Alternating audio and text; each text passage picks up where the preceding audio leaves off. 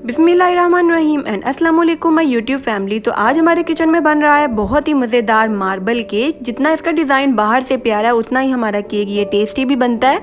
तो आप इसे ज़रूर ट्राई कीजिएगा और अगर आपको मेरी रेसिपी पसंद आए तो मेरे चैनल को सब्सक्राइब करें, वीडियो को लाइक करें और इसे शेयर भी ज़रूर करें। तो मेरी रेसिपी को एंड तक ज़रूर देखिएगा। अपनी रेसिपी स्टार्ट करते हैं।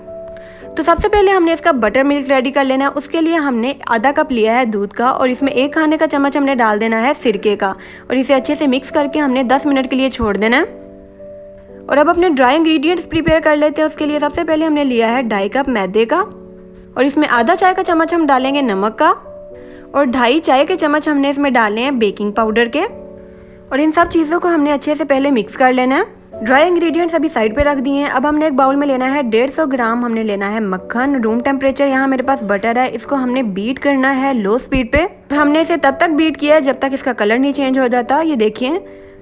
और मक्खन का कलर चेंज हो चुका है। अब हमने इसमें चार अदद अंडे डाल लेने हैं। और अब हमने इन्हें भी अच्छे से बीट कर लेना है। तो ये देखिए, अंडे भी हमारे जो है वो अच्छे से बीट हो चुके हैं। अब हम एक कप डालेंगे इसमें पीसी हुई चीनी का। वैसे आप सिंपल नॉर्मल चीनी भी इसमें डाल सकते हैं, लेकिन इससे क्या होता है कि आपका जो बैटर है वो इजीली बीट हो जाता है। तो सबसे पहले हमने हल्का सा हिला लेना बैटर को ताकि चीनी उड़े ना, फिर हमने इसे बीट कर लेना है। तो चीनी और मक्खन भी अच्छे से बीट हो चुका है। और जो बटर मिल्क हमने रेडी करके रखा हुआ था, अब हम इसमें वो डाल देंगे। दो चाय के चम्मच डालेंगे वनीला एसेंस के, और इसे फिर से बीट कर लेंगे। और वनीला एसेंस भी इसमें अच्छे से मिक्स हो चुका है। और अब जो ड्राई इंग्रेडिएंट्स हमारे पास थे अब हमने इसमें वो डाल लेने हैं। ड्राई इंग्रेडिएंट्स डालने के बाद हम इसे एक दफ़ा अच्छे से मिक्स कर लेंगे ताकि ये ड्राई इंग्रेडिएंट्स उड़े ना। अब हम इन्हें बीट कर लेंगे। तो बैटर हमारा रेडी हो चुका है। अब हमने अपने बैटर के दो हिस्से कर लेने हैं। आधा बैटर जो है वो मैं निकाल कर दूसरे बाउल में डाल रही हूँ। और बाकी का जो हाफ़ बैटर हमारे पास है, उसमें हमने सबसे पहले डाल लेने हैं चार खाने के चम्मच कोको पाउडर के। तीन खाने के चम्मच हम इसमें डाल लेंगे दूध के। एक खाने का चम्मच हम डाल लेंगे किसी भी वेजिटेबल ऑयल का।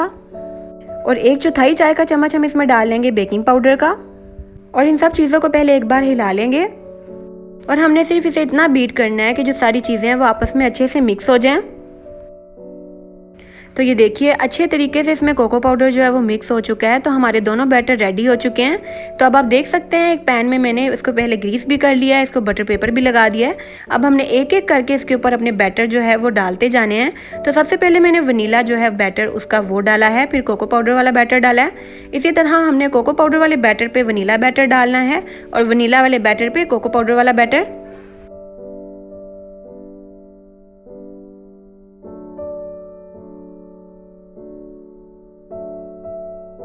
और मार्बल केक बनाने के लिए ये चीज़ बहुत ज़रूरी है कि आप इसकी जो लेयर्स है वो बिल्कुल अच्छे तरीके से बनाएँ। तो इस तरह से आपने इसकी लेयर्स जो है वो बनाते जाना है।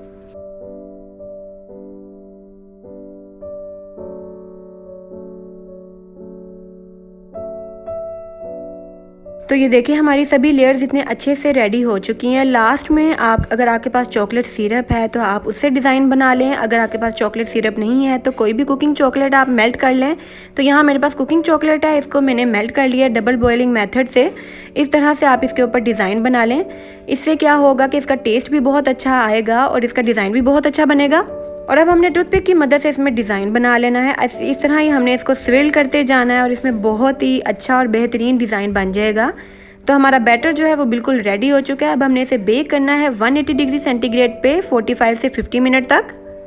जी तो नाजरीन 50 मिनट गुजर चुके हैं और हमारा केक, ये देखिए कितना ज़बरदस्त हमारा केक बेक हुआ है और कितना ज़बरदस्त इसके ऊपर जो डिज़ाइन हमने बनाया था, बिल्कुल एग्जैक्ट उसी डिज़ाइन में बेक हुआ है। तो आप भी इस रेसिपी को ज़रूर ट्राई करें। जितना ये केक बाहर से खूबसूरत दिखने में है, उतना ही ये अंदर से सॉफ्ट और टेस्टी भी बनता है। आप इसे ज़रूर ट्राई करें और अगर आपको मेरी रेसिपी पसंद आए तो मेरे चैनल को सब्सक्राइब करें, वीडियो को लाइक करें और इसे शेयर भी ज़रूर करें। अपना बहुत सारा ख्याल रखिएगा। अल्लाह हाफिज़।